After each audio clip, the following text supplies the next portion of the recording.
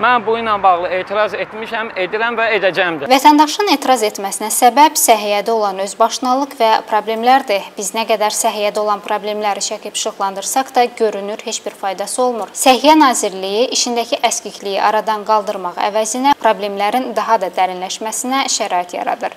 Rafiq Məmmədov bu yaxınlarda həkim səhlənkarlığı ucbatından anasını itirdiyini deyir. Bu səbəbdən o, Səhiyyə Nazirliyi və xəstəxana qarşısında aksiya keçirib. Anamın ölüm e, səbəbinə görə, yəni aksiya keçirtdim. Buna görə mən e, e, həbs olundum haqsız yerə, günahsız yerə. Yəni polislər e, mənə bu şəri atdılar. Yəni polis özbaşınalığı biz kimə arxamızı e, dayayaq, kimə arxayın olaq, kimə yəni ölkəmizdə bu cür polislər işləyirsə biz kimə etibar eləyək gələcək nəsilimizi. İndi bunlar məni həbsinə qorxutdular ki, mən səsimi kəsim, mən heç yerə etiraz etməyim, heç kimə heç nə deməyim, amma mənim anamın anamın ölüm səbəbi, yəni və o Rasim Əbdürrəhimov ki, elə həkimlər ki, orada işləyəcək, ölüm e, sayları daha da artacaq. Mən ona görə də susmayacağam. Daha da səsimi, e, yəni ki, e, qısa bilməyəcəklər. Mənim səsimi heç kim batıra bilməyəcək. Mən bu ilə bağlı etiraz etmişəm, edirəm və edəcəm də. Rəfinin etiraz aksiyası keçirməsindən bir müddət sonra onu 13-cü polis bölməsinin əməkdaşları bölməyə dəvət edir. Rəfi edir ki, onu bölmədə təhqir ediblər. Suyuna narkotik maddə ataraq onu şərləyərək həbs ediblər. Məni çağırdılar o, həmin ora e, rayon polis idarəsinə, Sabunçu rayon polis idarəsinə.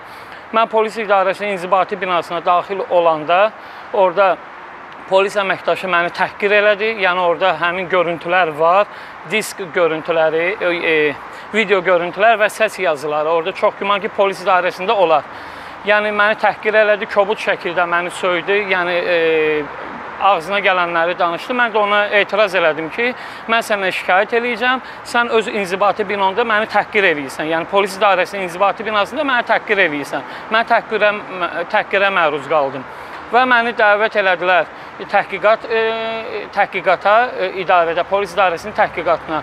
Çıxdım orada e, ərizə izahatımı al aldıqdan sonra məni sərbəst buraxdılar, amma onlar məndən göründüyü kimi əl çəkmədilər. Düşdülər aşağı. İş saatını pozduğuma görə mənim barəmdə ora dedilər ki, raport yazılsın. Raport yazıldıqdan sonra məni göndərdilər 13-cü polis bölməsinə. 13-cü polis bölməsinin ərazisi idi ora. Məni göndərdilər ora. Axşam olduğuna, e, yəni saat 1-də məni həbs elədilər bunlar. 1-də, yəni rəsmi bir e, gündüz 1-də məni həbs həbsə aldılar. Məni həbs elədikdən sonra gətirdilər məni 13-cü polis bölməsinə. 13-cü polis bölməsində Mənə dedilər ki, sən bir gün bizim qonağımız olacaqsan. Məni saxladılar orada, 13-cü bölmədə. Mənə orada dedilər, niyə etiraz eləmisən, niyə onu eləmisən? Məni də oradan idarədən güya mən polisə müqavimət e, e, edilmiş kimi məni polisə müqavimətlə orada həbs elədilər. Axşam iftar vaxtında dedim onlara ki, mənə su verin. Yəni iftar e, edəcəm, mənə su verin. Onlar mənə götürdülər iftar vaxtı e, narkotik qatdılar. Yəni OPI e, mənə eşitdiyimə görə, yəni məhkəmə qərarının e, orada məndə var, orada yazılmışdı OPI maddəli, məndən nəsə tərkibli narkotik çıxdı.